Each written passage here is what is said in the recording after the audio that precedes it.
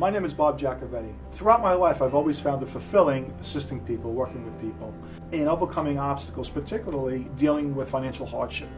My practice area is debt mitigation and, and really focus on three practice areas bankruptcies, Chapter 7s, consumer protection, helping people defend against uh, consumer collection cases, and home foreclosure defense.